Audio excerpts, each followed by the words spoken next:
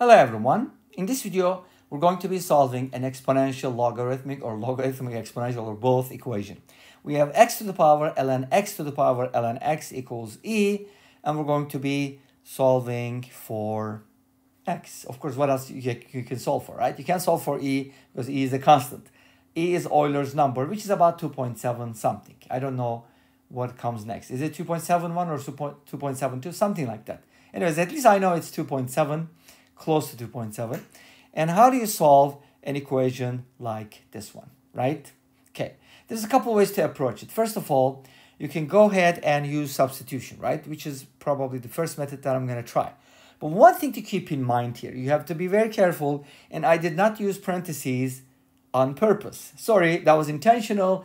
My goal is to trick you a little bit, but at the same time, to show you something, at least make a point that you need to be very careful at all times. Okay? All right.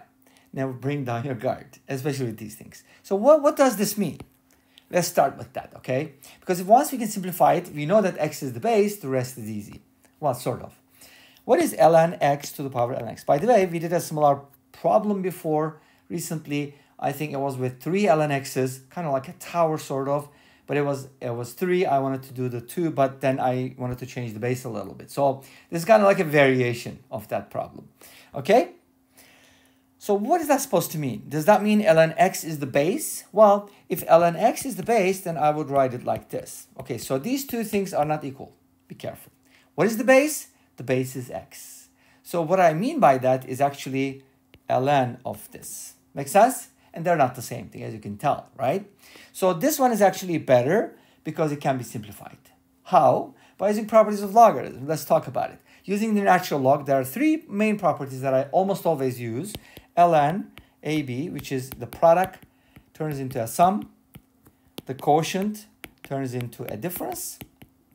And of course, by repeated multiplication using the first property over and over, you get the power property, which means n can become a coefficient.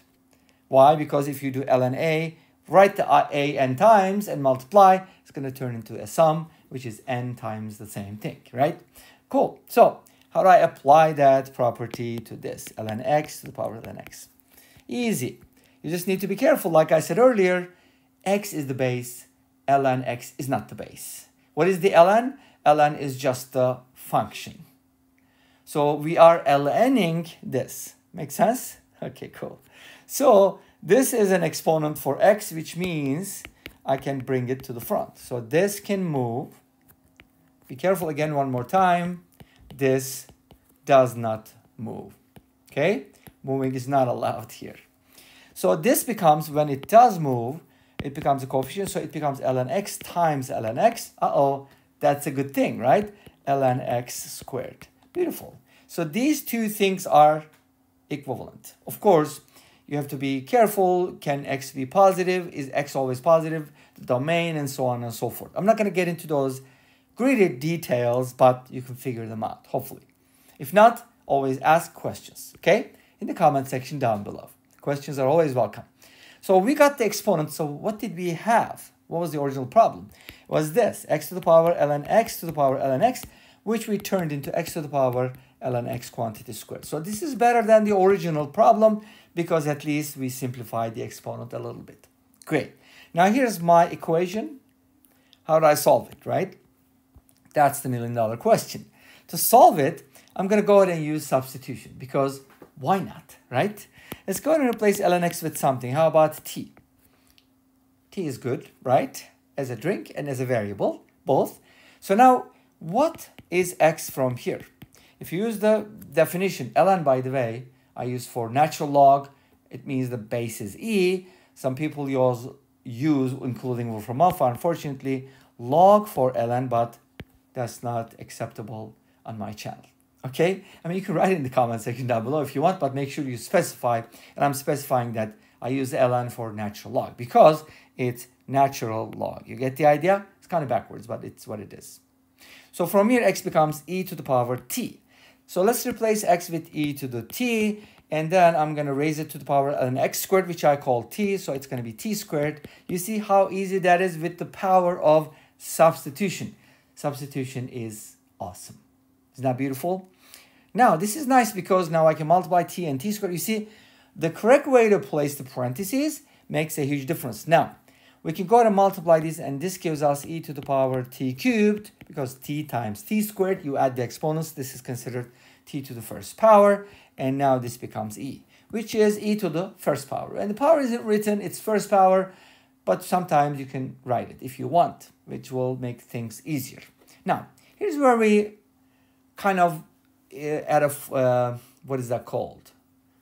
Um, crossroads, yes. we kind of need to pick our path because t cubed equals 1 is what we're going to get from here, but 1 in the real world has one cube root.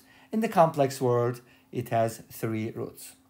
Wait a minute, uh, this channel is not always about complex numbers because we have a dedicated channel for that, which is called A plus bi. So go ahead and check it out if you haven't done so already. But uh, I'm going to stick to the real solution. If you wanted to complex solutions, you can go ahead and look at complex or uh, cube roots of unity, which is 1. So I'm going to stick with t equals 1, which will make things easier. And what is t, by the way? t is ln x. Let's go ahead and set ln x equal to 1. And from here, by using the definition, or you can do e to the power of both sides, x will become e.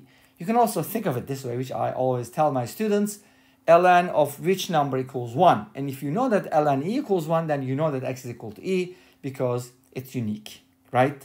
It's a function, come on. You can't really get two different x values and get the same y value. Well, that sometimes happens with some functions, but not with the log because it's always increasing, at least ln x. You get the idea? Hopefully you did. Now x equals z is a solution and that's the only real solutions. Again, I repeat, it's the real solution, it's the real deal. All right, cool. So complex solutions you can find from cube roots of 1. Now let's go ahead and talk about the second method because I still need to show you my second approach. And what is that? So we're going to save some time by considering the transformation we just did. Remember, we were able to turn this into ln x quantity squared, right? Okay. I don't know if it's timely or some type of static, but sometimes Notability and the Apple Pencil will just go crazy. They'll start acting really weird. I don't know why haven't been able to find the result, uh, the root cause.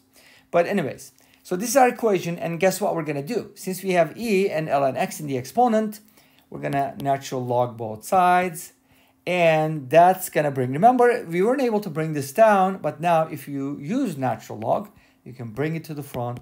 It's gonna give you ln x squared times ln x equals ln e, which is one. There you go. This is where the cubes come from, right? You see, what's happening, unfortunately. And this is ln x cubed equals 1. And from here, ln x equals 1. If I just consider the cube root of 1, the real cube root, x equals e is going to be the only solution. And I'm going to show you a graph of this function, which I think is pretty interesting. See how it curves between 0 and 1. It's really weird, but that's where they intersect. Uh, and remember, the right-hand side was e, and the x value, guess what, will also be e. And this brings us to the end of this video. Thanks for watching. I hope you enjoyed it. Please let me know. Don't forget to comment, like, and subscribe. I'll see you next time with another video. Until then, be safe, take care. And by the way, this number wasn't 2, but it was it's pretty close to 2. I just noticed. And bye-bye.